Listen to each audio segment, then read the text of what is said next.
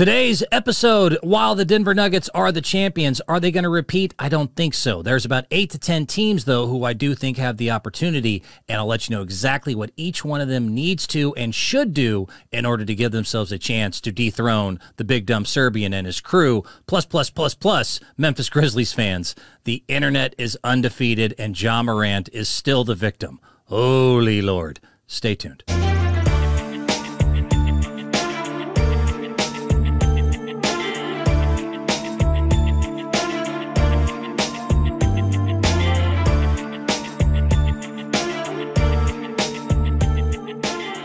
Hey, what's up, everyone? It's another episode of the Tricky Guy Sports Podcast. It's your host, Brent Bilski, aka Double B. What is going on? The NBA season is done, and that's just sad, isn't it? Oh, no. But it's all right because there's always next year, baby. And that's what today's show is going to focus on. Mostly, we are going to discuss every contender. I'm not going to talk about every damn team and do a power rankings 1 through 30 because that's just boring. But there are, I mean, it's it's a new era, man. This is no longer the years of the NBA where it's like only three or four teams every year and we don't know who's going to be able to compete. This is, uh, there's about eight to 10 significant teams each year now that are most likely going to have an opportunity to win. And that's definitely the case next year, including the draft, free agency. But just with the new CBA, it's just harder and harder for dynasties to exist. And we shall discuss which teams that I think are right on the cusp and what exactly do they need to do in order to maybe have a chance next year. So we'll discuss next year. It's not all, every year is a new year, man.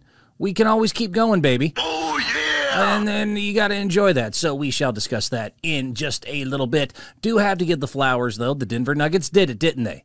The Denver Nuggets and Big Dumb Jokic did it, didn't they? They won the whole freaking thing. Denver Nuggets. What a team. What an exciting team of exciting players. Not really, but they got it done. Congratulations to the Nuggets. 47 years, the Denver Nuggets can finally call themselves NBA champions. Wife celebrating.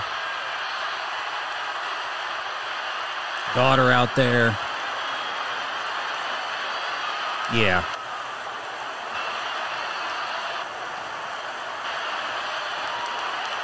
There's something cool about what he's doing right here, though.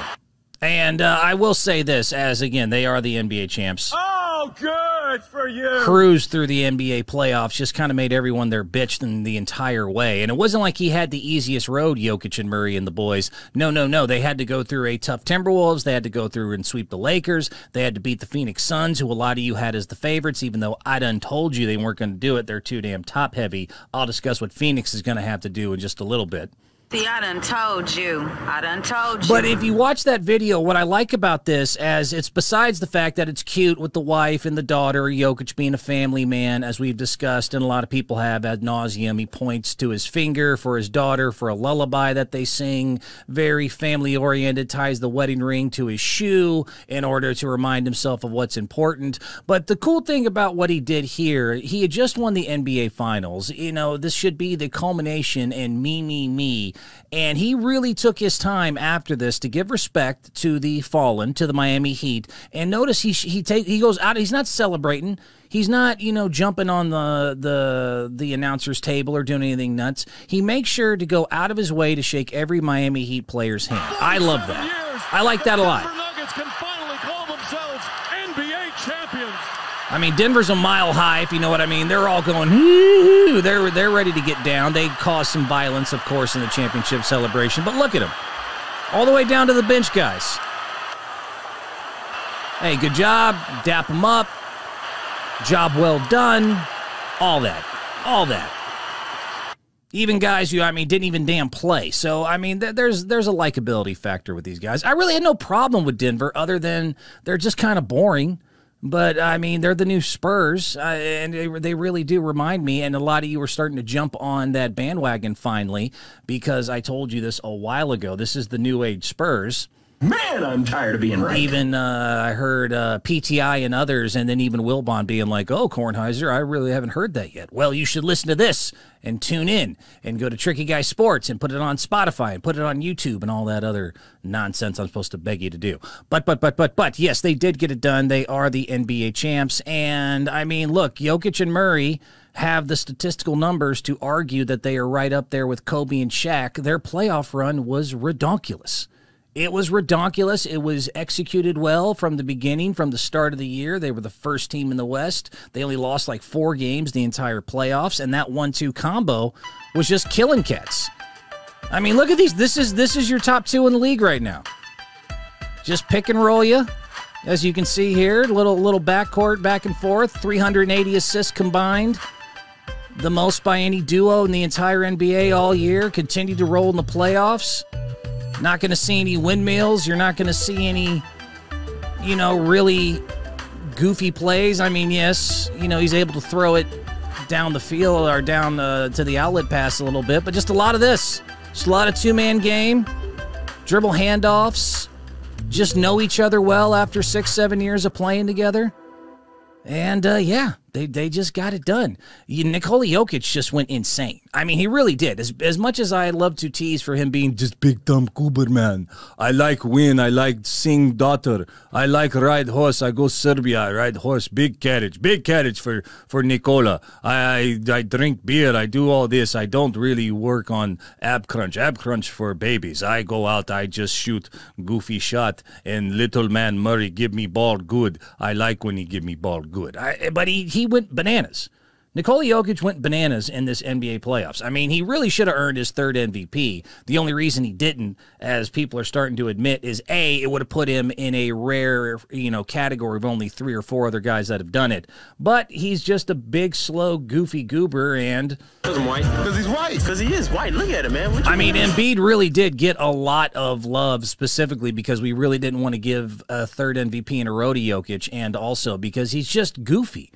I mean, look, we're all having revisionist history, but the fact is, Nikola Jokic was, you know, I mean, the 41st overall pick. He is now the lowest drafted, by the way, NBA player to ever win finals MVP. The next closest was Dennis Johnson at 29th. So, I mean, this is the only second round guy ever to be a finals MVP. Even at the All Star game, you know, the genius himself, the greatest basketball mind of all time, in case y'all forgot, did not even pick Nikola Jokic until the very final pick was kind of thrown at him. This the one that we're all being like, oh, Nikola's the best player. How do y'all not know? I've known for a long time. No, no, no, no, no. Yeah, right.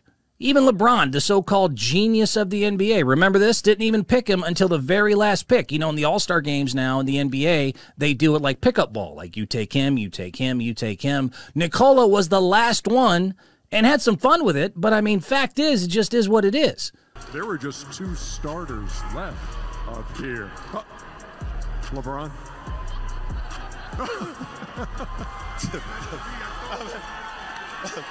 I mean, you already know. With my last pick, I'm going with Mr. Triple Double himself right here, Nikola Jokic. Yeah, even even the even the greatest basketball mind who's ever existed Real man of genius.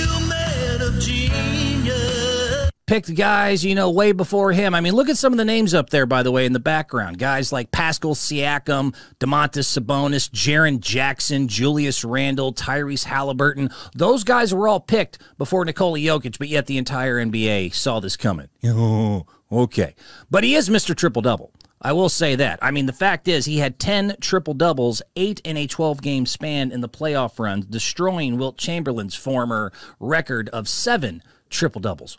Wilt Chamberlain. I mean, that's pretty gosh darn impressive. I mean, he really has entered a new stratosphere. Had games in the playoff run where he had 53 and 11 in game four against Phoenix. Remember that one? He was the first player ever to have a 30 point, 20 rebound, 10 assist triple double in finals history with 32, 21, and 10 in game three at Miami. He was again able to eliminate, you know, the Edwards, Anthony Towns, uh, the uh, Minnesota Twin or Minnesota Timberwolves, excuse me. Then went on to beat Booker and KD in Phoenix, swept LA before dispatching with Butler in Miami. I mean, he just went bananas. He was the first guy ever, ever to lead the NBA in the playoffs in points, rebounds, and assists in the same postseason. He is the first player ever to have 500 points, 250 rebounds, and 150 assists in a single postseason. He is only the third player ever to average 30 points, 10 assists, and nine assi- or 10 rebounds and nine assists in a single postseason. Only the third one ever to do that. He is the fourth center ever in NBA history. Now, in NBA history, to earn multiple MVPs in the regular season and a finals MVP, joining Kareem Abdul Jabbar, Wilt Chamberlain, and Moses Malone. I mean, he's put himself in rare, you know, rare air. I mean, the, the, the ring is the thing. It does, in the end, solidify and put you up in that next category. And this big Serbian goober, who has just got to be the worst interview in the history of interviews, is now the face of the league. Kind of curious of what Adam Silver thinks about having this big old duh, duh. Uh, as good as he is, and as great as the Nuggets run was, their first finals ever and championship in 47 years, the longest in the NBA to ever, you know, franchise to have to wait that long. But if you listen to him talk, and I'm going to talk about in just a second here, you know, eventually what's good for next year, but let's at least give the flowers this year to the champion and the, you know, so-called now best player in the league. Listening to him talk, he, you know, he doesn't really care about any of this. It doesn't seem like. Nikola Jokic, I think, plays basketball as a job. I don't really think he loves it, to be quite honest. It, uh, listen, to, listen to this. They, I mean, I, I, put together a compilation of some of Nikola Jokic's best, you know, quotes here during the finals as they're trying to get anything involving a personality out of this guy, and he's just like, "Duh, I like horses. I like, I like things. I like daughter. Like Serbia." Um, you said after the Lakers win, you said you were surprised that you didn't feel more. So I'm curious what you are feeling right now and if you're looking forward to a parade coming up in Denver. When is parade? When is parade? Thursday. No. I need to go home. okay. You know, nobody likes his uh, his job, or maybe they do. They're lying. Uh, how have you grown and what have you learned from being a dad? And have you noticed any of those skills translating to being a better basketball player? Nah. you know, that cannot help you. Ah, congratulations. I'm going to see that he's testing me, no? I don't know. I mean, oh, mom. How many texts you have? A lot, a lot. I know. I'm not gonna. I'm gonna turn off the phone. You're the fourth player in NBA Finals history to record the line that you had today, joining like LeBron, uh, KD, and Tim Duncan. Uh, what, do, what do you think about when you hear that? It's not a big 23, 12, and 4. Fourth ever, the 23, 10, and 4. Oh. Mean, I don't know. Uh, nice. It's good. Uh, I mean, I don't really don't know, don't know what to say. Nah, nah. Now I am with them on that last part about really 23 10 and 4. That was kind of a weird stat to kind of put him into a certain category. But I mean the guy earned a lot of those categories that put him up at the tippy top. And besides that he was bitching about the parade which a lot of people played. I mean this quote here to me was bananas where he's basically saying like look, man, it's just a job. And who actually likes doing their job? No one really. I, I was uh, fascinated by that one. Let me let me go ahead and get back to that. When is parade? Thursday. No. Oh no. I need to go home. I need to go home ride horse. Me have no time. But this is the quote I want to talk about. It was right after this. He's talking about being an NBA champion and being an NBA basketball player, which a lot of people you would think would kill for. And Nikola seems pissed off he has to do it. Oh, I have to not eat uh, burger. I have to eat salad. It's bullcrap. I want to just ride horse, drink beer, and just live on my fart house in Serbia. Okay. You know, nobody likes his uh, his job, or maybe they do. They're lying. You know, nobody likes his uh, his job, or maybe they do. They're lying. You know, nobody likes his uh, his job, or maybe they do. They're lying. I mean, some people you would think would like being an NBA champion, and this guy's like, uh, I don't know. I ain't got a good, good, good brain. I don't want to go to parade. I don't like parade. I, unless I can ride carriage through, I don't want to go to stinking parade. I just want to go home to Serbia, the greatest country in the world. Ask anyone except people from Serbia and everyone else who has an opinion. Other than that, I say greatest country. Go home. Big Jokic phone home. That's our guy. That's our big champion. So there you go. Congratulations to the Denver Nuggets. As again, I really do think they are the new San Antonio Spurs. Do I think they'll repeat? No. But I do think they're going to be around for a while. The fact is, you might as well go ahead and get used to these guys. They're going to be around here for a little bit. They are now um, put themselves in that spot. But I mean, their starting lineup is returning. Just so you know, the, the Nuggets are going nowhere. Um, their entire starting five of Jokic, Murray, Pope, Porter Jr., Aaron Gordon are all under contract through at least 24, 25. They're all 29 years and younger of age. They are all in their prime. They have that small market, again, led by the big dummy. It's so reminiscent of the San Antonio Spurs that used to be bane of my existence. I hate, I hate, I hate. They are back in full force. They'll be back again next year. Uh, can they do it again? Absolutely.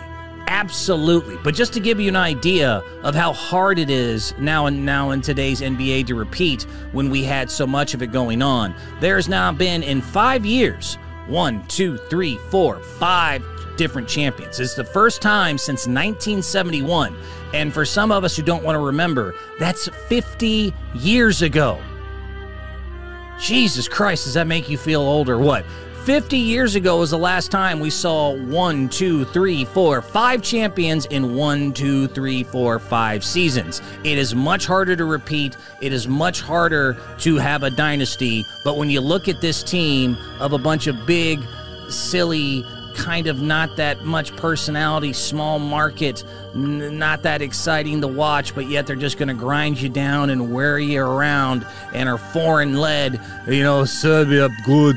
We like the da da. You know, this the Spurs all over again. You might as well get used to it. Ball movement, team basketball, no, you know, ego, well coached, great fan base. But again, just kind of bleh when it comes to having an opinion or anything exciting. They just don't seem to have it, other than they come home with the damn ring, and they usually don't do it back to back. Spurs never did it back to back, but they just stuck around like cockroaches. Nuggets are the news, Spurs slash cockroaches, led by the biggest one of all. That's the biggest cockroach you're going to find out there, and they're going to be around for a while. But, but, but, but, but, we can get into what's going to happen next year. What's going to happen next year because there is going to be a lot of opportunity for other teams to dethrone and now hopefully make it six different champions in 6 years. Oh yeah. So let's let's take a look, shall we? Let's go ahead. I'm going to run real quickly through the teams that I think have the best opportunity and what they have to do. All right. So we're going to make this real easy. I'm going to give you about eight to nine teams here, East and Western Conference. I'm not going to pick in a conference. I'm just going to tell you the teams that I think have the best opportunity to dethrone the Denver Nuggets and exactly how they're going to get it done. Are you ready? Good. Here we go. And I read. I'll start off with Boston. Um, Boston, honestly, is a lot like Denver and about one or two other teams I see out there. Run it back. Uh, do not do don't do it. Don't get into being a prisoner of the moment. Do not become an idiot and tell yourself that just because you went to the nba finals last year and you didn't win and this year you were one game away from the nba finals and arguably one jayson tatum ankle sprain away that you suddenly need to get rid of jaylen brown you need to blow up the team and that you need to go ahead and rebuild or restructure or remake you know reinvent the wheel. That is stupid ask like the Houston Rockets, who never won, but they were close. Ask, you know, a lot of these teams that, you know, decide to make a big decision or a big move because they got close but no cigar and didn't give themselves the opportunity to go ahead and push themselves to that championship threshold. You know, Denver just a few years ago is a perfect example. Denver had Murray out. You know, he had his injuries. They were worried. Was he going to be able to come back and be who he was? Golden State Warriors just a couple years ago had Klay Thompson down and they were wondering what could they do there. Boston hasn't been hurt, but they have had some key injuries at key times. Robert Williams went down in the finals last year. He again had Tatum sprain his ankle at the the most inopportune time in a game seven. This is not time to panic. This is not time to rebuild. You don't need to get rid of Jaylen Brown. That's all stupid. That's dopey talk. That's dopey talk. I mean, look at your age alone. Do you understand if you're a Boston fan? Let me go ahead and hit you with this one. This these facts wicked hot. The uh, Boston Celtics are just like Denver in that their whole core is young. You don't break up a young core that is this close to go ahead and pulling off the whole thing. Only one out of 30 win the whole thing. You do understand that, right? I mean, the fact is, Jayson Tatum's only 25. Derrick White's only 28. You got both Williams, Grant, and Robert 24 and 25. Jaylen Brown is 26. And to put that in perspective, you know, because uh, your best players, Tatum is 25, Brown is 26. It's not like everyone is a Kobe or Magic and wins their first championship right out of the gate. You do realize Michael Jordan didn't win his first championship till he was 28 years old. Steph Curry did not win his first championship until he was 27 years old. Kevin Durant did not win his first title until he was 28 years old. LeBron James did not win his first title until 27. So, so, so, so, considering that your two best players, Tatum and Brown in their core, are all under the ages of MJ, Steph, KD, or LeBron before they won their first NBA title, I sincerely don't think it's time to panic. What does that do? Does that blow your mind? I mean, that's that's really all I need to say there. And uh, I would just keep the core together. You know, try to retweak the bench, get some size, and you guys will be all right. You'll be able to come back out of the East wicked hot, and you'll be able to see if you're able to knock off the uh, the big Serb over there and the bunch of bunch of jokers, bunch of jokers out there in Denver. They get all high on the ganja. Need to go ahead and just have a lager. Go to the bar. Stay off that weed. Go to the bar. I love weed, okay? I love it. Boston Celtics is one of the silliest acts. Boston City, that accent. I, we'll move on. Golden State Warriors are my favorite team, and they were a champion just two years ago, but they just didn't have it this year. Oh, good for you. Um, they're going to have to go big. I mean, that's the big thing I see with the Golden State Warriors. They have huge decisions this offseason for the first time ever in this run of Steph, Klay, and Dre and crew. What are they going to do as far as one of the big three? And this is just how life goes, man. One of the big three is most likely, and I'll predict it might be Klay Thompson. And it's gone. I, I don't think so. The only reason I think that Golden State might not get rid of Klay Thompson is because there is a new general manager. And if you're the new general manager and you just got the job in Golden State, who's had five championships in nine years and multiple finals appearances as well as that, I mean, they've had an historic run with this core. I, I think Draymond does get re signed because they love him too much. And even though he's the bane of my existence, I, I do think he'll stick around. And Klay, you know, is getting older and he does have his injuries making him not the defensive presence he once was. He still had great statistical year, even though he was more streaky than we're used to seeing with Klay. But back to the issue of if you're the new general manager and you just got hired, do you have the balls, the marbles, the bowling ball sized huevos necessary to get rid of Klay Thompson as one of your first moves as a new general manager in Golden State and see how that plays out. If that doesn't work out, you're you're pretty much the devil. I mean, you're pretty much Satan on earth. You're the worst. You're the one who blew up the greatest, you know, era they've ever had in their entire franchise history. There's no way you can get around the fact that you are just Satan himself. Devil six six six, the mark of the beast. So the big thing will be Jordan Poole. Now, Jordan Poole, what can they do with Jordan Poole? I don't know. I don't know what his value is, but I think he's the one who would be the most of the you know favorites to be traded. But the Golden State Warriors, with an average height of six foot six inches, are going to have to go big. They have the number 19 pick in the NBA draft, and there's a guy that is right now in that mock draft area named Dereck Lively out of Duke. Mark this down right now. If the Golden State Warriors can go get Dereck Lively out of Duke at number 19, ooh, we got a problem. Western Conference Denver Nuggets, even though he would be a rookie. That would be very interesting to see. But the rest of it's going to be tough with the new CBA and everything going on. I don't know if they can keep their main three guys. Steph's obviously not going nowhere, but Klay or Dre could be gone next year, along with Donte DiVincenzo and a couple other guys I like. But if they can kind of just get a big, like a veteran big, and then get a Dereck Lively at 19, it'll be a lively year for the Golden State Warriors, who still have about two, three years left of trying to make this an actual chance to go ahead and win next year. Coming up next, I'll just mention real quick the LA Clippers. They only had the 30th and the 40th, 48th pick in the NBA draft, and they're most likely going to have to re sign Russell Westbrook, who, I mean, Here we go again. Same thing with Russ. You know, he had some good points, he had some bad, and when he's good, he's good, and when he's bad, he is holy hell bad. But, but, but, but, the do have the new owner. You know, the last few years, they they have uh, one of the only owners in the world that is willing to drop all the big boy bucks in order to keep his team together. So you don't see Kawhi or Paul George going anywhere. They got the new stadium out there with all the toilets in the world. You can pee all over the place. Pee pee. You can pee in this toilet. Pee You pee. can pee in that toilet. Pee pee. 9,000 toilets for 8,000 people in each section. It's toilets galore. You can just, everyone's going to be just happily peeing. Pee pee. It's going to be the most wonderful thing ever. So they, they have a lot of things to be excited about in LA. You don't want to go ahead and take too far of a step backwards. I think Russell Westbrook, as crazy and inconsistent as he can be, did have good moments there. I still don't really put y'all in playoff contention as far as titles, but you're you're a good team. And with those three guys, you have an opportunity to see what you can do. I'll throw you in as a quick mention there. The bigger team and the one we really need to discuss is the LA Lakers. The LA Lakers and my favorite guy, Mr. LeBron James Here we go again. who is not retiring. So just miss me with that bullcrap. He is not retiring. He's just being the drama queen, the narcissistic attention whore that he needs to be in the offseason sometimes when things aren't going his way. It's just what he does. Oh, did I lose? Let me let me be over dramatic and make it about me Here we go again. because it's just what I do.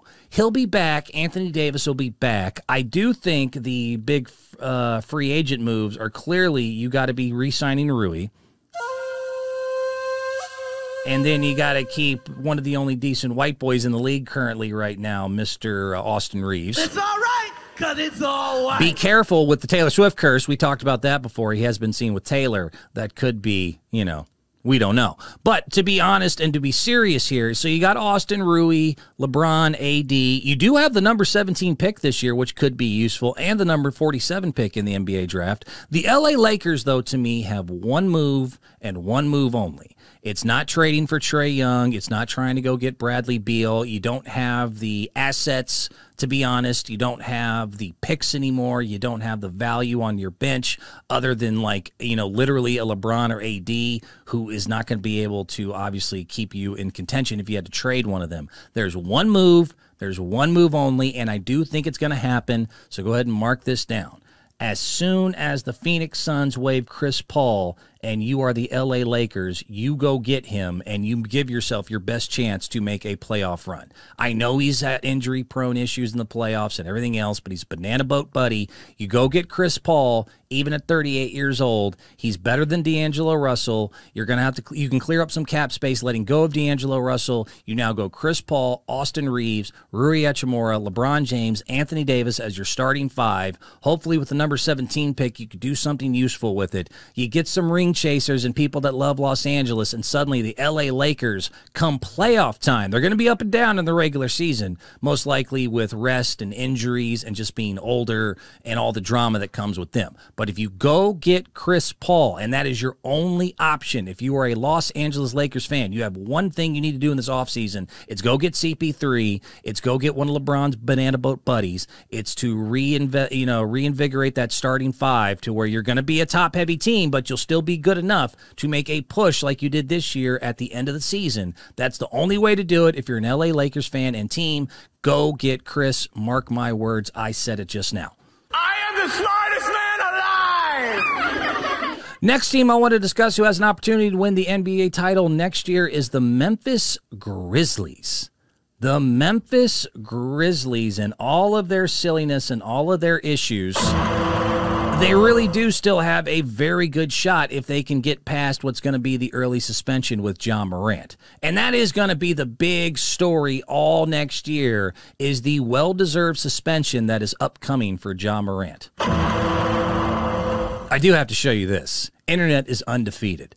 Ja Morant and all of his issues and showing a gun again, which he tries to say is a toy gun, but if it was a toy gun, wouldn't you said that right from the beginning? And once again, it's just showing that he's learned no lessons, and this is like the seventh stupid thing that he's done, many of which involved gun, or trying to break the law, or trying to be a thug, or trying to keep it real. And he has become a national joke, whether he wants to admit it or not. The internet is undefeated, and Ja Morant is no different from any of that. The internet is undefeated, and Ja Morant is definitely a victim of it. I got to show you this compilation that has been coming down because Adam Silver has already said after the finals. So we're going to know in the next few days. I've got a big boy suspension basically coming for Ja Morant.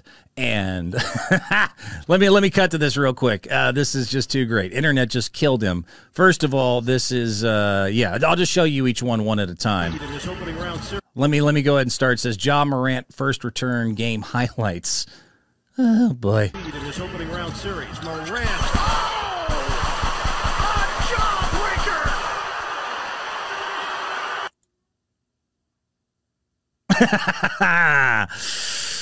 yeah, yeah. Someone put together a video game compilation of him somehow dribbling the basketball, playing Call of Duty. Ja Morant return game highlights. You really have to see this. Tricky Guy Sports. Go ahead and YouTube search it. Ay, ay, ay. In opening round series, Morant.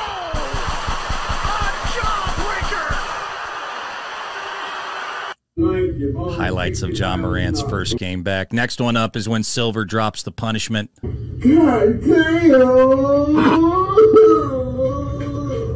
Why you do that to me, man? what you give me a ball for? Ugh. Ugh. Internet's good, man. Internet's good. They're not done yet. This is more, again, just Ja Morant compilation with his upcoming suspension. Fifteen. This is how many games will Ja Morant be suspended? This is a good one. I love this movie. How many games will Ja Morant be suspended? Let's see. 15, 30, 37, 38. 45, 47. Effective immediately. I am banning Ja Morant for life. Boy, yo, Junior died. Dillon Brooks to Ja Morant. This one was good too. The last one. This is Dillon Brooks talking to Ja Morant, apparently. Boy, yo, Junior died. What's your Guanjuin? Well, yo, you and Bufanchi. Internet's undefeated, man. Internet is undefeated. But yes, in all seriousness, though, the Memphis Grizzlies and Ja Morant, that's going to be the big thing is there is the Ja suspension, how long. They do have the Desmond Bane extension, and we'll see how that goes along there as well. Dillon Brooks, by the way, is gone, and I don't think anyone is going to miss him, speaking of that last little joke video. And it's gone. Uh, good riddance to bad rubbish. Enjoy China. Enjoy being anywhere besides the NBA. You unbelievable, just ridiculous douchebag who earned every bit of the negative energy that has now gone your way. Seriously, that guy sucks out loud. Douchebag says what? I, I hope seriously no NBA team even takes on that head case there. But Memphis got rid of him. They're going to have to replace Dillon Brooks, who was, by the way, the NBA's least efficient volume shooter in the entire league, worse than Russell Westbrook because he's just a one-sided, bear poking, attention needy.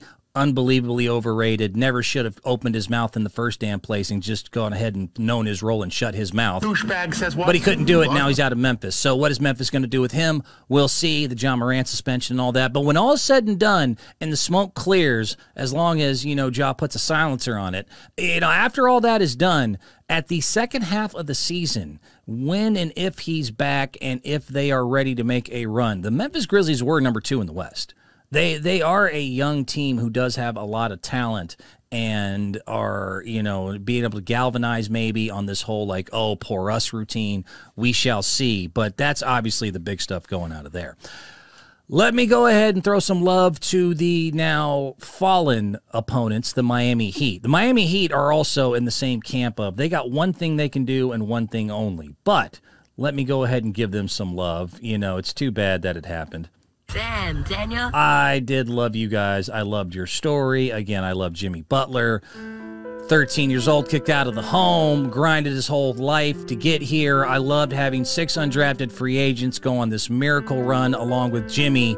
Jimmy and his misfit toys, his island of misfit undrafted free agents, made it all the way through the Eastern Conference, going through the number one seed Milwaukee Bucks, going through the number two seed Boston Celtics, the very, very good, could be good next year New York Knicks, and, you know, I mean, made this miracle, this whole thing, and got themselves all the way to the NBA Finals, and they had it 1 1 in the series, and they I knew they were going to lose, but I tried to tell you that, but a lot of you didn't listen. You really thought Cinderella was going to exist, Seabiscuit was going to win the race one more time, Rocky was going to knock out Apollo.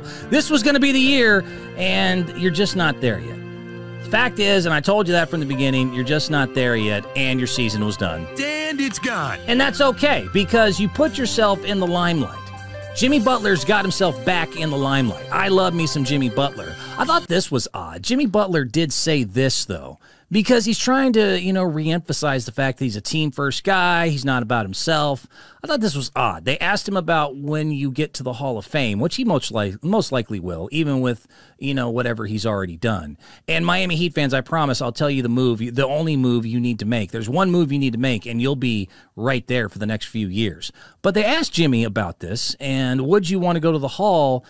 I thought this was a bit LeBronish and like over dramatic and relax. We get it. You're a team first guy. We understand.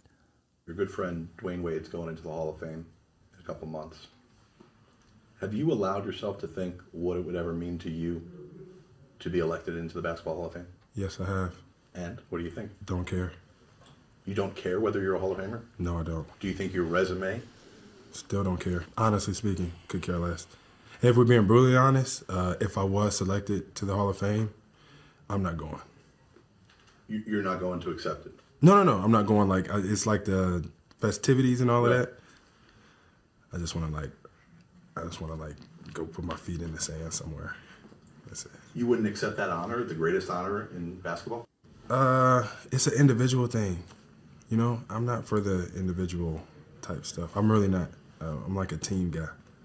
But even after it's all said and done and you've done No, I don't want to go. I don't. I'm not worried about the Hall of Fame. So I promise you, it's an honor. It is, but hmm, I could care less. Interesting. I mean that too, by the way. I mean, maybe he means it. And Jimmy, I love you, and we get you're a team guy. But seriously, we'll just I, go ride a horse carriage with Nikola. Then you know all these NBA guys suddenly don't care about anything. You know, it- it's it's just this new age to me. A lot of this, like, oh, I don't care about anything but the team. I am the most team guy in the world. I don't even. I give all my money away to my teammates. I just don't care about any individual. I'm just the most team, team, team, team, team. Team this, team that.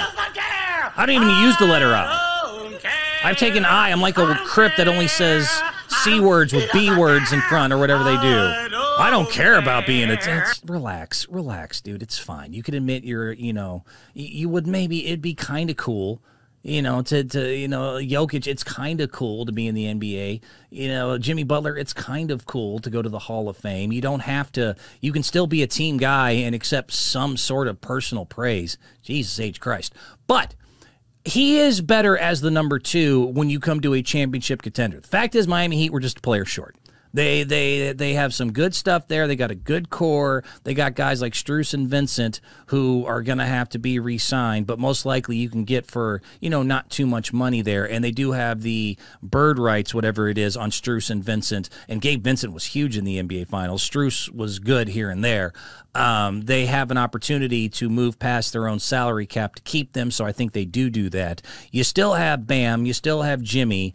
Um, the big thing, the only thing that's going to make Miami a contender, as again the Trae Young and Bradley Beal names come up, no, no, no, no, no, no. There's one move, and there's one move only. It has been rumored. It has already been um, gone ahead and said by the person I'm going to bring up here that he would like to actually maybe have this happen. Brian Windhorst and others have already reported that they are looking at making this move. You have one opportunity to give yourself a three to four year window. You go get Damian Lillard. That's it. And the story, I don't want to hear the rest. If you are the Miami Heat, you have one job and one job this offseason. That is to trade whatever you can, not name Jimmy Butler or Bam Adebayo, and you go get Damian Lillard and you take the rest of your misfit toys and you put yourself a three to four year window. You go get it done. You give them one opportunity to do it, and that's the only way you're going to do it is you go get Damian Lillard. I like that idea, and I will support it. Thank you. I agree because it's the only way you really that three together with Bam and Damian already being friends and Jimmy being the dog and the killer that he is, and he wouldn't have to be an offensive option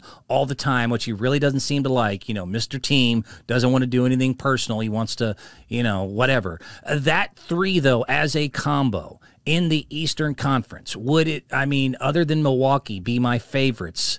Every single time for the next few years to make a run in the playoffs. The Miami Heat with Damian Lillard, Bam, and Jimmy Butler uh, is it. That's it. That's the only way to do it. You have one thing to do. Go get it done. I like that idea, and I will support it. And I've even worked out, you know, there is a trade. I did the trade machine thing. You can, uh, according to the contracts, and work it out. I don't know if they would do it, but Kyle Lowry and Caleb Martin do work in a straight up trade for, you know, Damian Lillard, which I don't even think. If that actually happened, I'd be like, really? Is this real life? I mean, Portland would have to be really on some good weed to go ahead and make that trade. But you can do something though with Tyler Herro and Kyle Lowry and and maybe a draft pick or two. That's something I think that is more logical is to work out a trade where you give Portland some point guard and say, look, here's Tyler. He's a blue blood. You know, turns out we can, you know, we have some success without him, and he's a talented guy who can give you, you know, some leadership going into the future, but still young enough in Portland to have your young core. We have Kyle Lowry here. You know, uh, so maybe take a first round, our number 18 overall first round pick. Something around that would be the only thing I would, I mean, the main thing I would offer. But if I'm Miami, I'm opening the cupboard for anything that they want besides, again, Jimmy or Bam. Anything else, have at it. We need those three together. We need them together for the next few years because that would give us the best opportunity in the Eastern Conference to consistently be a favorite and to go ahead and give Jimmy his championship. Maybe then he'll finally go to the Hall of Fame. Whatever. We don't. I don't want. I don't want to do parades. I don't like being an NBA player. I'm a big dumb Serbian. I don't want to go to the Hall of Fame. I'm a team first guy. I don't want to admit I like anything personal. Frustrating. Frustrating. It's frustrating. It's frustrating. Milwaukee Bucks, as I continue to roll with some teams, I think, and what could they do next offseason? I will say this quickly Milwaukee Bucks just need to run it back. They obviously need a new coach. That is absolutely brutal to this day. Jesus Christ. You fired your coach who had the most successful five year window, at least statistically, in like history, damn near, in Budenholzer, and you did it the, the week that his brother was killed in a car crash. How the hell you gonna get fired on your day off? Phoenix. Suns, by the way, fired Monty Williams, and very similar. His wife has breast cancer. It's now his second wife to have major issues. He had a wife five years ago, die in a car crash. He now has a new wife. She has breast cancer, and they fired him. And uh, you know, just because he wasn't able to have a successful title run when he had the team together for like a whole three damn weeks. Coaches have it rough, man. How the hell you gonna get fired on your day off? I don't know. Mm, I don't know either. It- It's a rough life for coaches. All this mental health and all this, and we got to worry about the players. You know, nah, nah, nah. For some reason we don't give a damn about coaches' mental health. They're going through major tragedies, and we'll just can their ass like it's nothing. You're fired. I, I mean, Jesus Christ. But Milwaukee Bucks, to, in order to come back, just just run it back. Giannis got hurt at an inopportune time. Everyone wants to call it this huge upset. Giannis's back was hurt. Um, Khris Middleton was also hurt. He's having knee surgery. Get them healthy. Bring your core back. They do have some big bottom tier free agents: Jae Crowder, Ingles, Carter, Matthews, and you'll have to figure all that out. But as long as you come back with Holiday, come back with Giannis, you come back. Oh, Lopez, Brook Lopez though is, um, excuse me, an unrestricted free agent. You bring back Brook Lopez. You do not even screw around with that. If he wants, you know, pretty close to a bag, you give him a damn bag. Money, money, money, money, money. Have Middleton pick up his $40 million player option. You have Brook Lopez come back on a new deal. You bring back the basically the main core. You fill out your bench and you run it back again with your new coach. Hopefully, you know, if he doesn't have a good season, you don't fire him right after his whole family gets killed in some horrible plane crash or something. Jesus Christ. Good Lord. NBA coaches have it rough. Another team that has it rough, and I will mention quickly Philadelphia 76ers. Philadelphia 76ers should be one of your favorites to come out of the Eastern Conference, but it all comes down to a bearded, aloof, getting older, hit or miss. He's either really great or he's really bad James Harden. Your whole your whole, you know, your opportunity all comes down to will James Harden stay? And the fact is, the rumors are that he's not. No. He's going to go ahead and seek his big boy money and go to somewhere because James likes to win, but I don't think it's really the biggest thing in his life. I, I, I think he'd rather go ahead and get that bag. So Houston Rockets are actually the place that is most rumored currently. Oh no. And you should say, oh no, because you have no draft picks. Did you know that, 76ers fans and other Eastern Conference fans? of other teams. Do you know the 76ers have no zero draft picks? I mean, that's just crazy. Oh, no. You lost it in the Harden trade and also due to some sort of penalties on free agency and doing things shadily or whatever, they penalized them. So Sixers have no drafts. Nothing in the draft to come to to to uh, you know, restock the cupboard as it would be. And uh, basically, yeah. So you have Embiid, you know, your MVP, who I, I already can almost promise you is going to get into a, you know, you need to play a little more like uh, Nikola Jokic. You need to go ahead and uh, be the center point of the offense. Uh, monkey see, monkey do. You saw a lot of teams do this with Golden State. Oh, you guys need to play more like Steph Curry. We need to go small. We need to do all this. I guarantee the 76ers, first thing they're going to do is try to somehow turn you know, Embiid into the one of one weird, odd horse riding creature that is Nikola Jokic and maybe try to run the offense more through him. I think that's a terrible idea, and I don't think it's going to work. That's dopey talk. That's dopey dum dum talk. But, you know, trying to keep James Harden, and even if you do, it's going to be hit or miss, but it's the only shot you got. But if he declines his player option and leaves in free agency, you guys don't really have much else to rely on. You don't have any draft picks to either get or trade. You don't really have a roster that you can do a lot with. The process is basically at its peak, at its culmination. And this is it. You're going to ride or die. Hopefully, somehow you get James to stay and you roll with that crew and see how the rest of the teammates feel about Embiid basically blaming all them in the uh, last game of the season after they lost, basically saying, well, it's not my fault. It's not James' fault. It Doesn't matter that we, you know, didn't really play that well at the end and in the most important games. It's all the Maxis and all their faults. Douchebag says what? See how What? chemistry goes with that.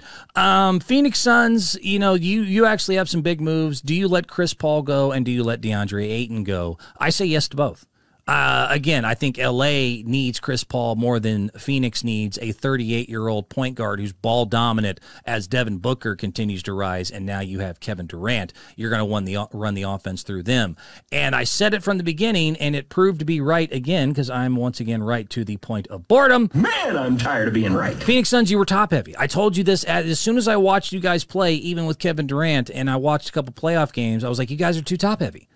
You, you just don't have enough of a bench and, an, and a, a full roster. You don't have enough Bruce Browns and you know uh, Christian Brauns and even you know going back to last year with Golden State, Otto Porters and Jordan Pooles and these guys that can come in and give you a punch. You don't have that coming off your bench, and you need that. As good as Chris Paul, Kevin Durant and Devin Booker are, as usual, Chris Paul went down with injury because that just seems what's to have to happen to him when you put too much of a workload on him at 38 years old and just his body not being able to hold up. But if you're Phoenix and you're looking at all this, you need to go ahead and take those two guys and the money that you'll now get by letting them go and turn that into four or five guys. You take two good players and two players that, you know, command a big boy contract and you let them either go or you sign and trade. You do whatever you can to turn those two into four or five really, you know, solid players and you stack them around Devin Booker and Kevin Durant.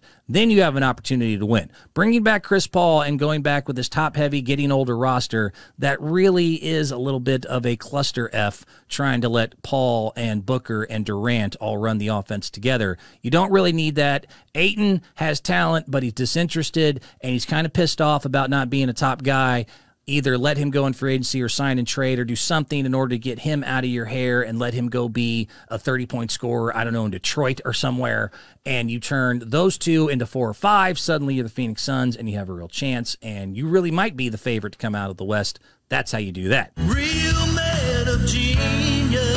This is the big one for me. This is the most interesting team who I think, other than not named the Oklahoma City Thunder, who I'll throw in as an honorable mention, we're going to make a lot of surprises, as they will be next year what this team was this year. The Sacramento Kings. I am going to be very, very curious to see what you guys do. The fact is, Sacramento Kings have the 24th pick, 38th pick, and the 54th pick this year. They also have still their first round picks in 25, 26, and 27. That is what's known as a lot of trade assets or a lot of good young talent. That is a absolute cupboard to go ahead and build around Fox. Sabonis does need to have his contract extended. He's on the final year. Uh, Keegan Murray as a rookie. You keep Malik Monk. And I mean, after 48 wins, a really pretty solid first round performance against the Golden State Warriors, you are right on the cusp and you have assets. You're really the only team of everyone I've mentioned who is young, who has assets, and who has a nice little combination in Sabonis and Darren De'Aaron Fox. I got to start saying his name right. De'Aaron Fox, aka the number one voted clutch player, was voted Mr. Clutch of the NBA this year. You have the coach of the year in Mike Brown. You have all sorts of draft picks in order to go ahead and either, again, bring in more talent and continue to build slowly, or make a big move, go get a star, and go ahead and make a run. You're the only one that has a full cupboard. You have an unbelievable fan base. You have, you know, the light, the beam, all of that. Those guys are rabid out there. You have the leadership, the coaching. You have every single thing you need. Sacramento Kings, keeping an eye on you. Keeping an eye on you. So there you go. That's all the contenders, in my opinion. That's what they can do in order to go ahead and make a run next year at the Denver Nuggets. We shall see if any of it gets done, and we'll see if I'm right once again on any of that going forward. But it is the end of the season, and we do have to say goodbye to it. It was a lot of fun. I appreciated it, and we'll see you next year. There we go. Video time. You seen it? You seen it? Don't look at me. Don't look at me, little puppet. Have you seen this? Have you read about this? Matter of fact, I'm looking at the clock. This works out perfectly. So, this is always a fun thing I like to do at the end of the show to go ahead and just have some fun, cleanse my palate, and show you either some silly things or things that weren't necessarily that important, but are very, very entertaining and should either make you laugh, cringe, or do something. So, this part specifically, you want to go to Tricky Guy Sports on my YouTube channel, on our YouTube channel, search Tricky Guy Sports and watch this part along with us because it's always a lot of fun. Where should I start? Where should I start? Um, oh, announcer flubs. I love announcer flubs. I will start with the uh, appetizer, then get to the main course here. So, this is during some baseball game, and I really would like more context, but this announcer is admitting that he met his wife as he was a teacher. I, I would really like to know which grade and where and all that. I sure as hell hope it wasn't middle school. Jesus Christ.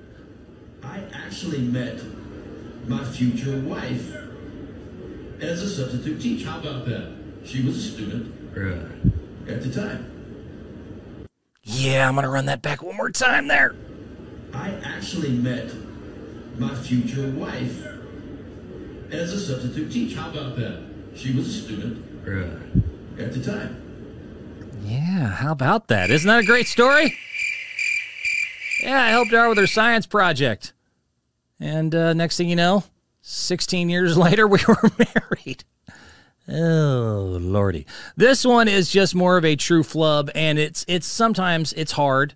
It's sometimes really long and hard to not make certain innuendos as an announcer as you're excited and you get into the game and suddenly you have these long, hard, you know, rigid thoughts that just come thrusting into your ear hole, in and out. And the next thing you know, you say something crazy you don't even realize you said something crazy or pause worthy, and suddenly you're on the internet forever. Yeah, yeah, yeah. Crabtree, huh? What's Crabtree good at? Blown away by Crabtree's hands and his ability to suck in these balls. yeah, I'm gonna have you have to say that one more time there, Kyle. Blown away by Crabtree's hands and his ability to suck in these balls.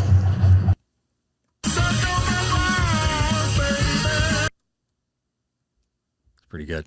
Pretty solid. Blown away by Crabtree's hands and his ability to suck in these balls.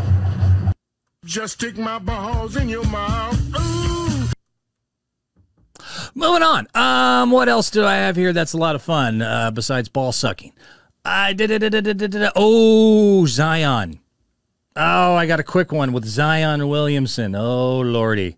And here we go. For those of you that don't remember, Zion Williamson just made the news recently, and not in a good way, as he tried to. Um, be sweet and announce he had a baby on the way with his new girlfriend, and they had the gender reveal on a YouTube clip, which then set off the OnlyFans hooker that he was banging as she just eviscerated him on the internet via Twitter. Hooker, prostitute, slut for money. And said, I let you spit in my mouth and you're still going to have to take care of me and I'm late and you raw dogged me and you raw dogged these hoes and you were raw dogging this and you were raw dogging that. How dare you go back with this broke bitch and bap, bap, bap, bap, bap. I mean, just shots fired left and right, just pew, pew, pew, Yosemite Sam style and really embarrassed him.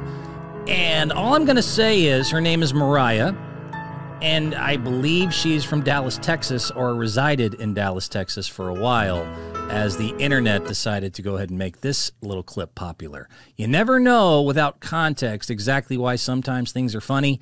Brandon Ingram sure did. Brandon Ingram sure did. Check this out Zion Williamson. Come on down to Texas, baby. Apparently, you've been down here a few times. Raw. Dallas, baby. Dallas is the best road city. What? What are we talking about? Why Dallas? Why Dallas? Why Dallas, bro? Why Dallas, bro? Dallas is amazing. I don't care what nobody tell you. Dallas is amazing.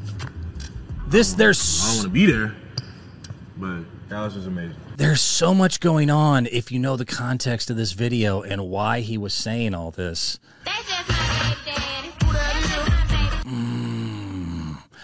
Second part, especially, is huge. Watch Brandon Ingram as he just chuckles and throws his arm around him. I thought this was very, very. Why Dallas? Why Dallas, bro? Why Dallas, bro? Dallas is amazing. Look at that face. Look at that face. Why Dallas, bro? What's what's up there in Dallas? Having sex. And then go ahead and cut to McCollum in the corner. Look at his eyes. This is even better. I don't care what nobody tell you. Dallas is amazing. Look at his eyes. Hold on. Look at his face. Look look at look at look at McCollum's face. Look at that right there. That is a look of like Why Dallas, Zion? What's in Dallas, Zion?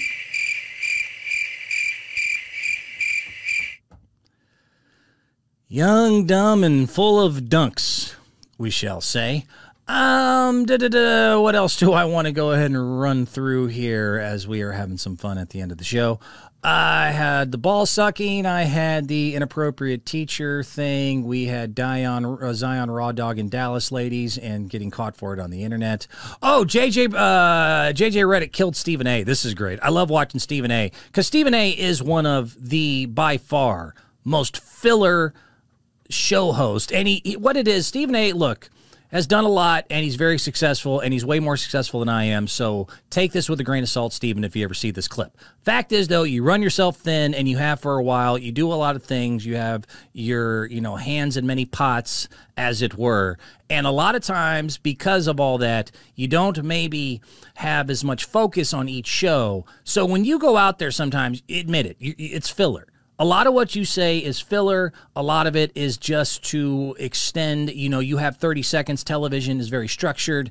And I've watched him do it. I have watched him, and he's so good at backing up his basic opinion with just more confidence and filler. As far as filler, I mean by like, you know, Chris Paul is a point guard for the Phoenix Suns in Arizona. He is the lead ball handler for the team that is currently residing in Phoenix, Arizona. He dribbles the ball and bounces it against the floor. When he bounces it against the floor, the ball then ricochets back into his hand. He takes it from his hand and he flicks his wrist, which then sends the ball back down again, and it once again bounces off the hardwood and comes back. You know what I mean? It's just like, bro, we get it. He dribbles the ball for the Phoenix Suns. You don't have to, you know, go into this expounding nonsense. And so a lot of times he'll say things that have no real backing or facts to go with them. And unfortunately, now they've invited JJ Redick to be part of their show, and he gets burned. And this one, he got burned real bad when he came to Nikola Jokic and just got pretty much ethered. And this clip went viral, so check this out. He's talking about Nikola Jokic and JJ with his facts and actually having this as his main focus besides his podcast. Went ahead and murdered Stephen on live television. I get you. Here's my counter to that. Jokic isn't known for having some kind of dominant post game now. That's not his game. Hold on a second. It's, Hold it's on not his game. He's not a dominant. is he a dominant no, no, post no, no, player? Hey, Is Jokic a Stephen A. dominant post player? St- Stephen A. We've got 10 years of tracking data. You know what the number one most efficient half court play is in 10 years across the NBA? a Nikola Jokic post. What is it? There you go. Whoa. Boom. Whoa. Boom. Hold on, wait, wait, Mic talk, talk, or talk, that talk. pen. JJ, JJ. JJ, All JJ, ten. I'm done. JJ. I'm Bye. done. I'm Damn, Daniel. JJ, JJ, JJ. First of all, you played for Duke University. Duke University is, I believe, in North Carolina. You know what I mean? Like he, he I, I, I don't even have to see the rest of it because that's just that'll do it. That'll do it. Your Honor, I object And why is that, Mr. Reed? because it's devastating to my case. Overruled. Good call. May want to go ahead and study a little more when JJ's on the show there, Stephen. I just saying. Uh, we have discussed a little bit in this show. This is the one of the last ones I'll bring you here. The patriarchy, as it were, or the matriarchy, or the lack thereof. Apparently, you know, ladies have it rough, and I'm not trying to say you don't. I am not going to go ahead and, uh, you know, it's not me telling you that, you know, this this this world is perfect. It wasn't me. Ladies do have it rough, even in golf. Even in golf. In Division Three golf, you have to see this. So I've never seen this on the male side. Let me know if you have a clip or something you could send me to go ahead and uh, let me know if I'm wrong here. But Jesus H Christ, they had to cancel this tournament in women's golf because some just absolute psycho or just some woman hating maybe just got dumped by his wife recently and she ran off with the kids or something someone had something against this division 3 women's golf tournament and felt slighted and decided to get petty and made the green from hell and when I say the green from hell, you have to see this nonsense. So look at this. They had to cancel the whole tournament because this was just good. look at this is psychotic. Look at this. Putt. What? Rolls back a little. Rolls back a little. Stop. Doesn't stop. Doesn't stop. Still going. Still going. Look at this psychotic nonsense all the way back to where I mean she did put that. Let's try this again. Six inches away, give or take. There it goes. this is this is ridiculous. She's further back. Let's try this again, huh? Again, right there. And here it goes. And screw your score, and screw Division Three women's golf, screw women in general. And I do not like that women golf. My wife likes to golf with me sometimes, so I decided to go ahead and put this pin in literally the worst spot in human history. Yeah, watch that roll back.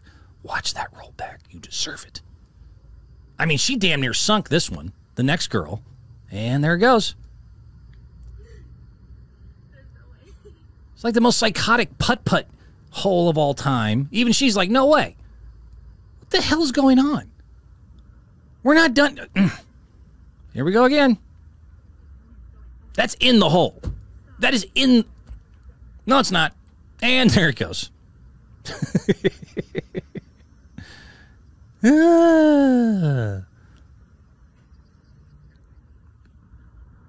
These poor ladies. These poor ladies. I, I mean, just. I mean, how many shots did we need to see this before they finally said, "Yeah, we're going to go ahead and call this dog"? it keeps going back further. ah, somewhere there's just some guy. Ha ha! You know what? Somewhere there was a greenskeeper and his wife beat him in golf for the first time, or you know he bet some woman he met who didn't realize because he thinks that women can't golf for something like a thousand dollars that he didn't have and he lost it. But there was something malicious behind this. I need to know the whole story behind this.